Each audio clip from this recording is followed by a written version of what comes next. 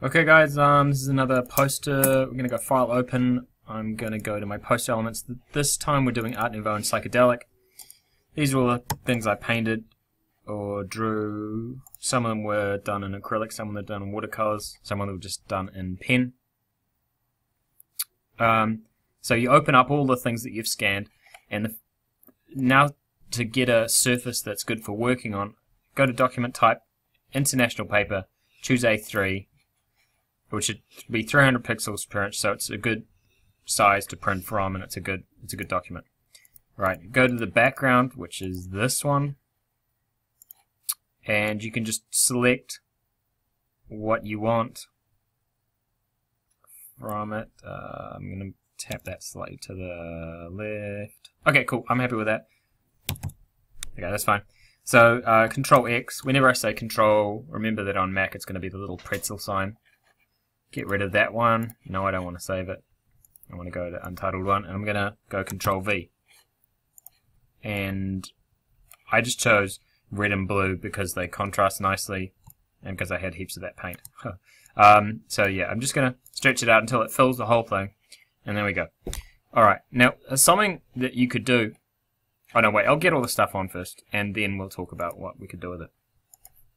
So the main uh, character in this is this woman who's kind of done in a trying to be done in an Art Nouveau style, kind of Alphonse Mucha, um, and um, I forget how I first of all did this, but anyway, so um, I'm using the quick selection tool, but as you can see, I've taken off too much of her face and parts of her toes and stuff. So if I want to get any of that area back, I just hold down Alt and Shift at the same time, and I can get those areas back again which are useful if you make a mistake, like I just did.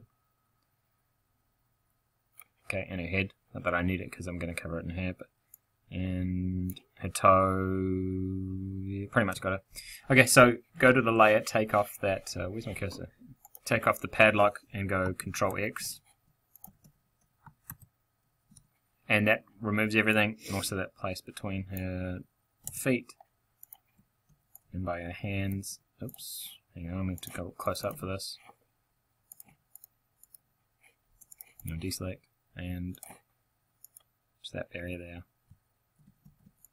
I, I want to be quite careful with this because um actually for real finicky bits I'm just going to use the magic lasso tool because it's it's really not going to look very good with the black uh, the blue and red underneath it so I really just want to make sure I'm just getting the character okay so I pretty much got around her. This wasn't an easy thing to cut out because parts of her, her skin are quite light and so was the paper. So whereas if you watch my Japanese, that ukiyo and punk one, like you'll see how easy that was to cut out the character because she was surrounded with black ink.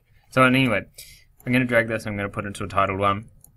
So, it's so there she is. I'm going to go Control T to decrease the size a little bit. I'm just going to get the main elements in first of all. Okay, so I don't need that. That's scrap paper. Uh, that's the hair.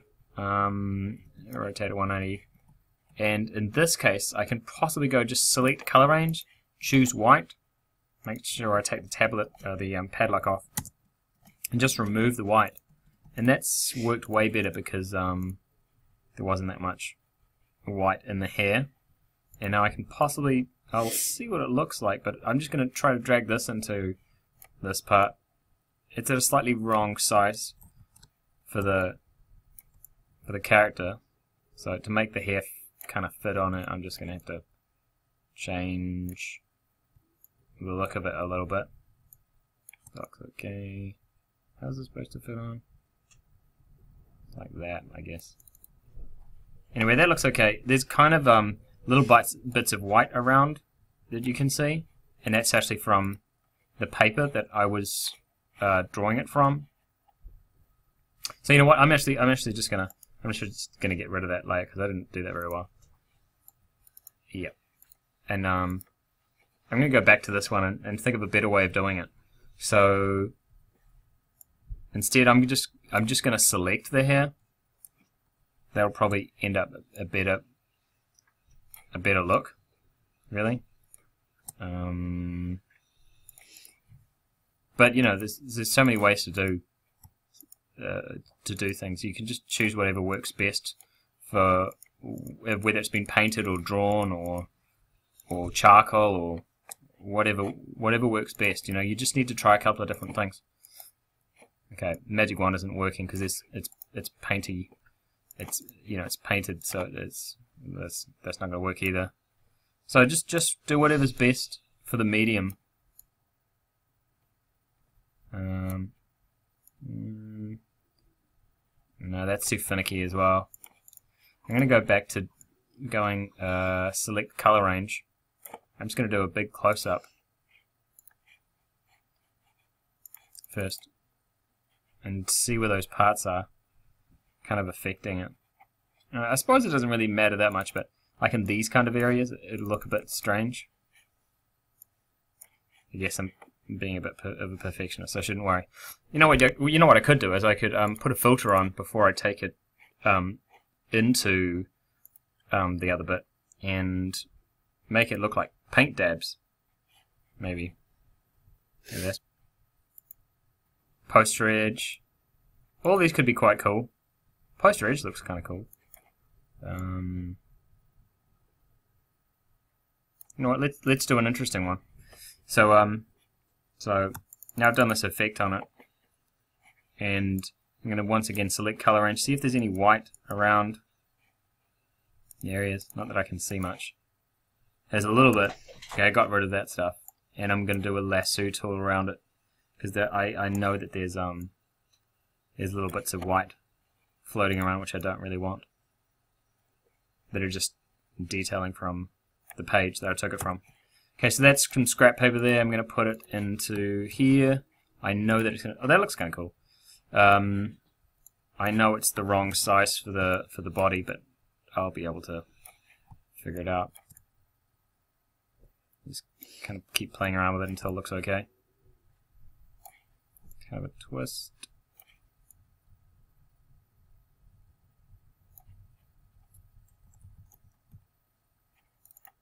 Okay, so now her hair looks highly textured. Um, so that's basically the idea. Layer 3 and layer 2 I'm now going to merge together. So that's my basic shape. Um, these crazy ideas, I, which I thought was a good idea at the time, I'm going to get rid of the the white and then just magic, uh, lasso them and paste them in here. I'm going to do the same with all four of them. That's scrap paper. I didn't really have a have a very good idea how this was going to work, so this is going to be different every time I do it. It's going to be, it's, you know, it's psychedelic, so it doesn't really matter that much. Um, uh, yeah, magic wand, the white, cut it out, use the lasso tool, cut out each crazy shape. One, two,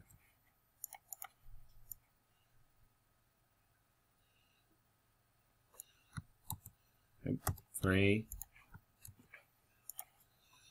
four. Okay, that's scrap paper, throw that away. Okay, so there's all the crazy shapes. Um, there was this weird horseshoe thing I did, um, which I thought was a good idea at the time as well. um, you know, um, I, I'm gonna uh, put in a. Uh, what am I gonna do? I'm gonna threshold. it. No, I don't want to do that. Um, what about image? Uh, uh, image adjustments. Posterize might make it a bit more standoutish. Oh, that doesn't look good either. Okay, just try things on. Um, okay, I've got to filter gallery and do something else. Try um, dabs, poster edges. Poster edges looks okay, I think. Okay, it looks alright. Um, and now I'm going to use the magnetic lasso and I'm just going to carefully go around the outside, just hoping that that black line will make it very obvious what's is and what isn't the, the graphic. Seems to be working. And now the inside.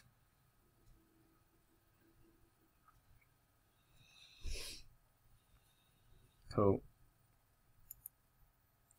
Alright, it's selected way less than I thought it would because it's missed this part out. But if you hold down shift, you can continue selecting another shape, which I didn't know for ages. But now it's changed everything. Alright, now um, I can cut that out. Boom, removed it. Close that because that's scrap paper. Uh, that's scrap paper. And I'm going to put it in there. I don't quite know where I'm going to put it yet. I'm definitely going to put it um, upside down though because as it usually is behind the, the figure. And the last thing is this, which I was trying to do as a band name, believe it or not. So I was thinking of the Clouds of Depression as a band name, and um, live and silent 24 hours a day, 7 days a week, as a kind of a way of um, emulating the San Francisco sort of psychedelica stuff. Um, Right. Okay. So uh, let's go back to this. If you ever finding things way too complicated, there's too many things on the screen. Just just just turn them off with the eye. Okay. So just give me a second until I move things around. Um, actually, I'm going to pause the video and I'm just going to move things around, and then uh, you'll see what I've done. Okay. Cool. I've just rearranged these weird uh, paintings I made around the place. So this looks fine. They're kind of following the form of the body a little bit thing I haven't added in was this little horseshoe. I'm going to drag that horseshoe right to the back because it's usually in the back of those Alphonse Mucha sort of things. Oh, right at the back though. There we go. Behind the hand. There we go. So it's kind of all detailed. It's Art Nouveau meets Psychedelica, so there's going to be a lot of unnecessary weird things going on. And if we look here, there's this sort of strange sort of shape going down through here. It's kind of like an S, I just realized, in this particular one. So, like those San Francisco posters we looked at, there's going to be some strange shapes to squish your lettering into. So the band name, or the pretend band name, whatever, is um, the Clouds of Depression. And um, I'm going to just uh, threshold them to make them really, really black and um, then go select color range and get rid of the white. Yep, yep, I know. Cool, and then I'm going to drag that into a document here. There's the clouds of depression. And what I'm going to do is try to think about a way I can fit this in. So obviously I think the would be best if it was at the top somewhere. Don't quite know where yet. The can go there. And then maybe clouds on another line. Oh, whoops, make sure I'm on the right thing. Yeah, uh, sectional movement, okay. So that's the, I might have to label things just so I don't get confused. Clouds.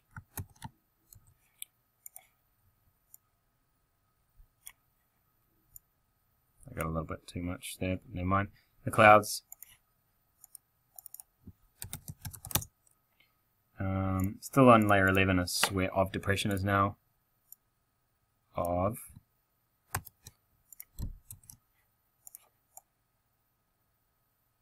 Maybe I'll put of there. I don't know. And then depression is where the old 11 was. But I'm going to try to make a sort of a shape that's sort of following it a little bit. I'm going to put these three together. I'm going to move them together. I'm holding down shift, but I'm not going to... Oh, whoops, I forgot uh, to include the the, clouds, and 11 and 12 are all one stretch of words. Okay, I'll tell you what I'm going to do now. I'm gonna I I'm gonna um I'm gonna merge them now, and what I'm going to do is I'm going to go image, sorry, edit, transform. I'm going to do this thing called warp, and warp is a really fun way to stretch your lettering. So I, I hope you can see what I'm doing here, and I'm making it look real funky. So I'm going to move depression down there.